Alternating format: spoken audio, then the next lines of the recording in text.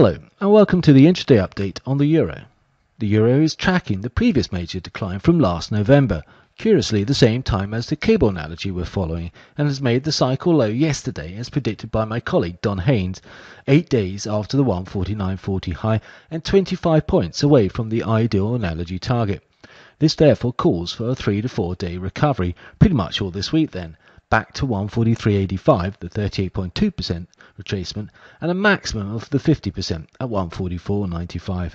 However, 142.40, the channel midpoint, remains a formidable short-term resistance, allowing a short-lived loss of 141.30 for a final attempt at the 140.45 low in a B wave down. In fact, Given the analogy's 40% corrective target of 144.05, this highlights 140.90 as a potential load to match the C equals 1.618 of A with 144.05. 140.90 is also the short-term C equals A on the downside today.